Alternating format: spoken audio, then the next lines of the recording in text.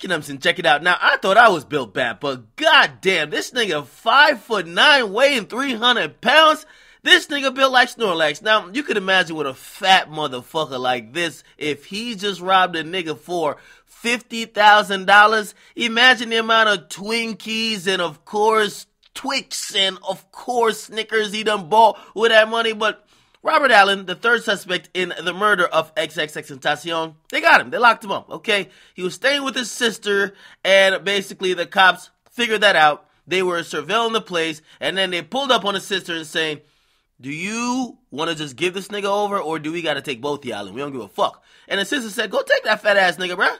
Now, they locked him up, and if you guys don't know, his role in X's murder is a little bit hazy. What we do know is that this motherfucker, he was there to get the vehicle, which was the vehicle that was involved in the crime. The SUV that blocked in XXX XXXTentacion's I-8, he rented that vehicle from somebody else, and that person who gave the vehicle said they never saw the vehicle again. Also, he was supposedly in the vehicle while the gunman hopped out and then killed X. It doesn't matter if he pulled the trigger, as I've been telling you, or he was in the car. Nigga, you were there with the plot to commit a crime which ended up in murder. You're getting charged with murder. Now, let me tell you how I think this is gonna go. This guy probably has the least culpability. You know I mean? The other guy bought the gloves and mask, and even though he wasn't one of the gunmen, and I'm talking about a Dedrick Williams guy, he was a guy who clearly had the plot. He made the calls to set a lot of shit up. He just wasn't the guy with the gun.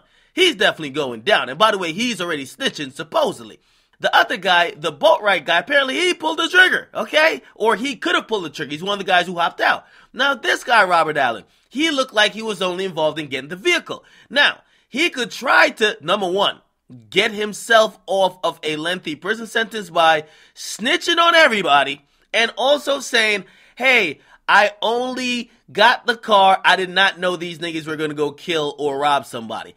Maybe if he snitches on everybody, the cops and the prosecutor will say, you know what, we'll give you a lesser sentence. But pretty much all these motherfuckers are screwed. They got their wives and girlfriends and sisters who are snitching on them, their surveillance tape who is putting out all the information, witnesses who are pointing them out. They're all fucked, okay? All you gotta do for all the detectives and prosecutors here, get this nigga a goddamn $5 box from Popeyes and this nigga will be singing like a fucking fat Tweety Bird. Let him spill the beans, cause whoever who did this, whoever who thought of it, whoever who pulled the trigger, actually fuck it. All you niggas gotta go down because you know what? If one didn't get the car, this wouldn't happen. If one didn't get the gloves and mask, this wouldn't happen. Doesn't matter if you pull the trigger, all you motherfuckers is guilty. Cut no deals. Go through the trial, find them guilty, hook, line, or sinker. These motherfuckers gotta get off the streets. All right? Again, he was listed as a person of interest, but he was down clearly with the plot because he was in the car and he lent the car. And come on now, you know what I mean? If he was that innocent, he would have jumped to the police and say, "Hey, cops, I only lent the car to someone. I didn't know they were gonna do some whatever, and I was not involved in this." No, you didn't do anything. You went on the run. I gotta think you're guilty. Get in the comments, make sure you guys like them, subscribe to Which Akademiks. What y'all think about all this, man?